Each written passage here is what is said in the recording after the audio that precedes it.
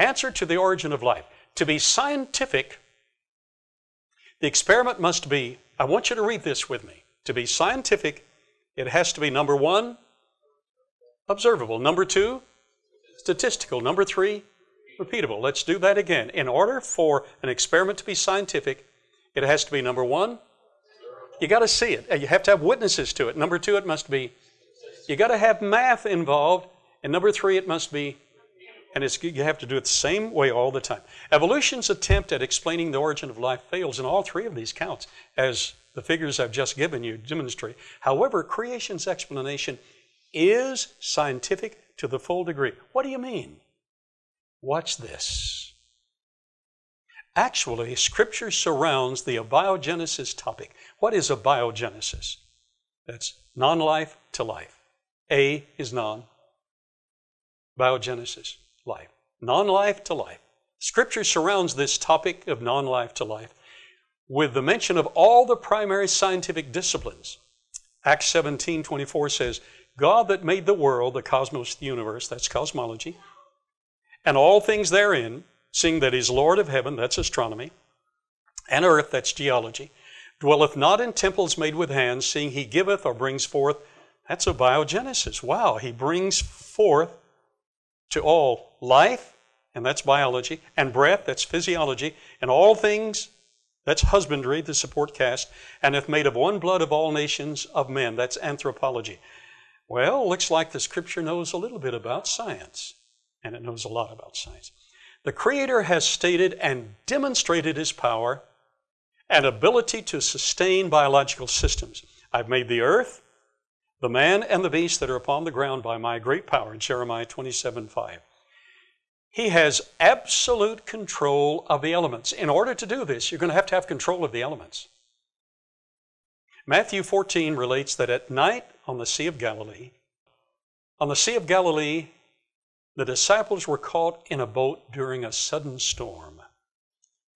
Jesus met them walking on the water in the midst of the tempest.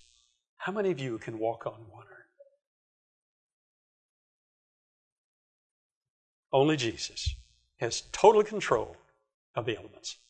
The mystery of the potential to control all the elements and to create and sustain life is explained directly by the inherent power and energy of the Son of God.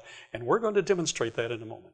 And it's in your study as well. Colossians 1 16, 17 states that by him, Jesus, were all things created, and by him all things consist. That word consist in the Greek is sunisteo, strengthen are held together. He holds it all together.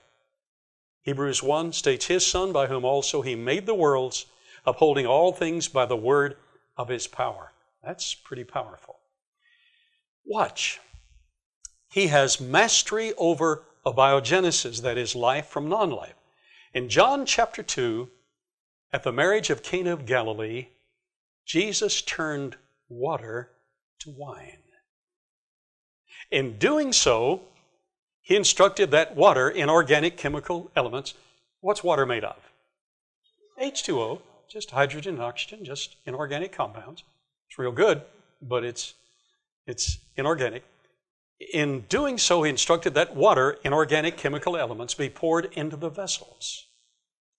He then requested that the substance he instantly made new wine, grape juice, with liquid enzymes and cells of fruit with intact DNA. They knew it wasn't just colored water, it was the real thing. That it should be taken to the governor of the feast. In this beginning of miracles, the Creator performed the creation of a living substance from non living elements as He did on day three in His direct mastery over physical phenomena. Hmm. In John chapter 9, He created living organs from non living chemical elements. And next week, I was supposed to be at the place, Pool of Siloam. But this fall, I'm going to be there. By the way, our team was the only outside team we know of selected to help the Israeli archaeologist excavate the pool of Siloam where Jesus healed the man born blind.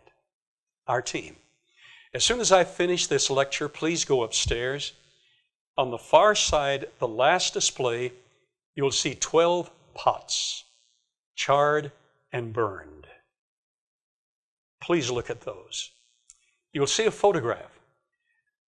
Uh, November 2004, we'd been invited to excavate. You'll see a picture of Robert Summers, the world famous artist who sculpted the John Wayne, the Byron Nelson, the Tom Landry, etc. He struck, and he struck a coin dating that destruction to the uh, destruction of the temple, that debris we were dealing in. I struck, I struck a mandible that had been ripped out of a jaw. It's, it's the pictures are all up there. I turned, and Ron Pugh struck my photograph immediately, and it's I just turned, and Ron just caught it that instant. His daughter, Kristen, is right back there. Wave, Kristen. Okay, it's his daughter. So it's memorialized up there. From that discovery, we knew not only that it was 70 AD, the destruction of Jerusalem, we knew exactly the day that it happened. It was the 9th of Av, 70 AD. The 9th of Av is the day of Jewish tragedy. First temple was destroyed the 9th of Av. Second temple was destroyed the 9th of Av. Their false messiah, Simon Bar Kokhba, was killed the 9th of Av, 135 AD.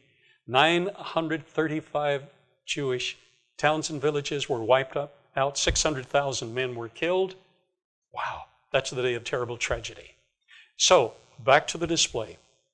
They knew that it was a massacre. So they continued to excavate. From those excavations, they then found the steps of ascent, going from the Pool of Siloam and we helped them excavate them up to the temple site, but the Antiquities Authority and the Palestinian Authority stopped it early. They saw they were broken up. You'll see all of this in the photos. They then went lower and they found the drain from the brazen altar was directly under those steps, marble steps of ascent. The first documentation in that drain photographic documentation that was ever done in history was done by David Lyons, who sits behind that door recording all of this to put up on YouTube. Let's give David a hand. He's right there. In fact, the photograph that you will see up there of, of that, that drain is only about that tall. So, the 10th Roman Legion soldiers running up and down those sacred steps heard. They went to Josephus, by the way, the scholars Eli Shukron and Roni Reich went to Josephus. They found that while the temple was burning, 3,000 young Jewish males got into that drain in peril of their lives at the brazen altar. Each held a pot with his food supply. They got into the drain and in peril of their lives, they went down to try to escape the destruction. The drain's only about that tall, so they had to squat like that. Pitch black.